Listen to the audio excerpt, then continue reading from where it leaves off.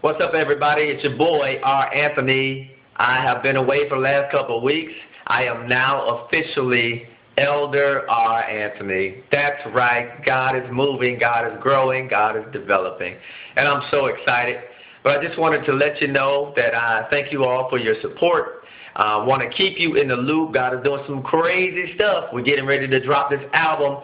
CD release concert is in October, so y'all keep your ears open. We'll make sure we have the announcements, flyers, and all that good stuff on Facebook. But just want to encourage you, find yourself in the place, in the presence, in the purpose of God. You want to be in the will of God. That's where I find myself at. I'm here by myself, and I can certainly say that the presence of the Lord is here.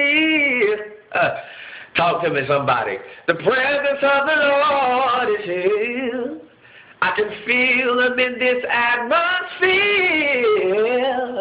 The presence of the Lord is here. Presence of the Lord is here. So I just want to encourage you, y'all. Find yourself in the presence. Watch God take your life from glory to glory.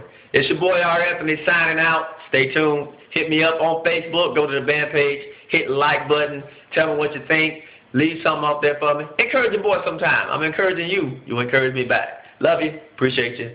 Out.